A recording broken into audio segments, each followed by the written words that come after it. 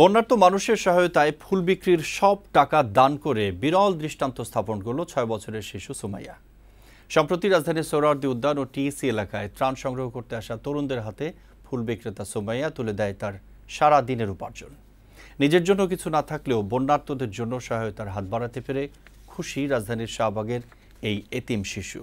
এমন ঘটনাকে মানবিকতার জন্য অনন্য নজির বলেই অভিহিত করলেন মানবাধিকার কর্মীরা আলমগীর হোসেনের ক্যামেরায় ফুলকন্যা সুমাইয়ার কথা জানাচ্ছেন শেখদার মেহেদি। সুমাইয়া, মা বাবা হারা ছয় বছর বয়সী এই শিশুর জীবন কাটে রাজধানীর শাহবাগ আর সোহরাওয়ার্দী উদ্যানের মাঝে। আপনজন বলতে আছে, কথিত এক নারী লেখাপড়া আর আনন্দ উচ্ছ্বাসের শৈশব পার করার কথা থাকলেও বাস্তবতার নির্মমতা সুমাইয়াকে সেসব থেকে বঞ্চিত করেছে। দিনের বেশিরভাগ সময় কাটে ফুল বিক্রি করে। দৈনিক আয় হয় একশো থেকে দেড়শো টাকা। কিন্তু সামান্য এই আয় নিয়েই অসামান্য উদাহরণ তৈরি করল সুমাইয়া। একদিনের ফুল বিক্রির সে টাকা তুলে দিল বন্যার্তদের জন্য সেভ দ্য ফিউচার নামক সংগঠনের ত্রাণ সংগ্রহ কার্যক্রমে। শুধু তাই নয় ফুল বিক্রি ফেলে রেখে সুমাইয়া অংশ নিয়েছে ত্রাণ সংগ্রহে।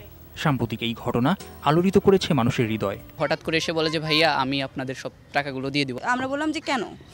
পরে বলছে আমি তো তাদের চেয়ে ভালো আছি। দৌড়ে আসছে তো বলতেছে যে আপু আপনাদের বক্স আমাকে দেন আমি কালেকশন করে দিব। শিশু সুমাইয়া বৈশাখী টেলিভিশনকে জানালো বন্যার্ত মানুষের জন্য তার আকুতির কথা।